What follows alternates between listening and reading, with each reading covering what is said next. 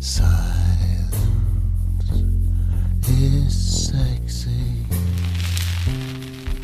so sexy.